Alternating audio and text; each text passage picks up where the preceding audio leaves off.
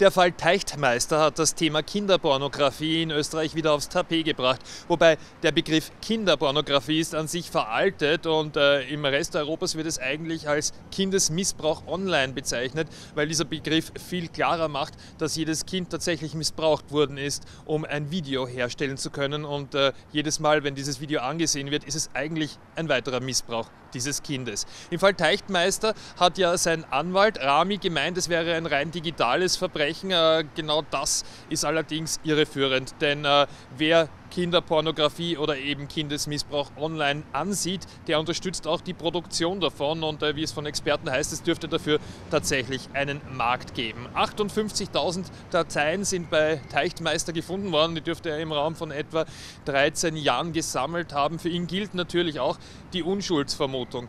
Zeitgleich ist bekannt geworden, dass eine NGO aus den Vereinigten Staaten für äh, das Jahr 2021 etwa 10.000 Verdachtsfälle in Österreich an die Behörden weitergeleitet hat. Aus diesen 10.000 Fällen sind immerhin über 780 Fälle herausgefiltert worden, bei denen tatsächlich eingegriffen werden konnte. Ein ganz besonders grausamer Fall aus Oberösterreich, wo erst ein, ein erst sechs Monate altes Kleinkind missbraucht worden sein soll. Also wirklich erschreckend. Die Sache ist die, die äh, Zahlen, die gehen stetig nach oben. Äh, noch vor wenigen Jahren ist deutlich weniger angezeigt worden. Einerseits sagt man dann natürlich, es liegt daran, dass die Leute inzwischen mutiger sind, dass das Tabu vom Thema ein bisschen weggegangen ist und dass einfach mehr angezeigt wird und dass genauer Nachschau gehalten wird. Andere wiederum meinen, dass gerade die Corona-Zeit dafür gesorgt hat, dass sich Pädophile einfach besser vernetzen und mehr Inhalte im Netz zugänglich sind. Fakt ist, dass die Beamten, die in Österreich beim Bundeskriminalamt an diesen Fällen arbeiten, gerade mal sechs Stück sind und die sollen 10.000 Verdachtsfälle bearbeiten.